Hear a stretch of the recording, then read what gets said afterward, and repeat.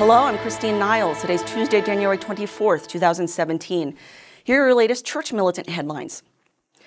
A pro gay, censored Catholic ministry group is claiming new guidelines on Amoris Laetitia can be applied to LGBT people to allow them to receive Holy Communion. In an article released Monday, New Ways Ministry claims the Bishop of Malta's guidelines on the papal exhortation, quote, are transferable to LGBT Catholics and their loved ones too.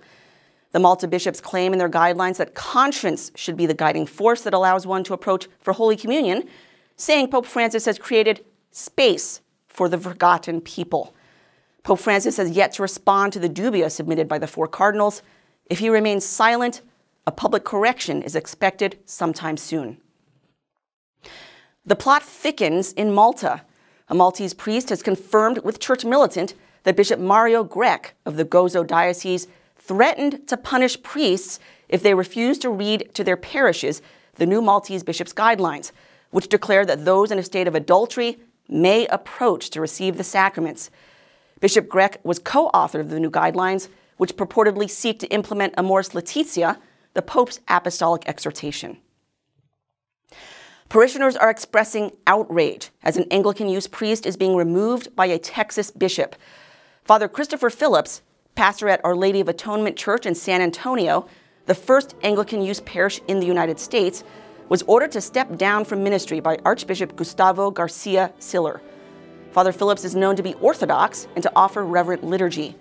Inside sources are claiming this is just a land grab by the Archbishop, who reportedly does not want the parish joining the Anglican ordinariate. A Michigan priest wore a feminist cat hat during a Saturday homily the same day as the Women's March in Washington, D.C. Father William Lugger of the Diocese of Lansing wore the hat in solidarity with a feminist protest, offering a political homily that was later challenged by Catholics. Justifying the hat, Father Lugger said on Facebook that his homily was a challenge to people in the ways of the gospel of Jesus. An online petition has since begun asking that Lugger step down as pastor for causing scandal. More than 50,000 Parisians marched for life on Sunday. France, which kills 220,000 children in the womb annually, is currently considering a bill that would censor pro life websites, with signs reading, Protecting the weak is truly strong. Men, women, and children marched through the city streets in a display of pro life solidarity. A spokesperson for the group lamented that abortion has become commonplace.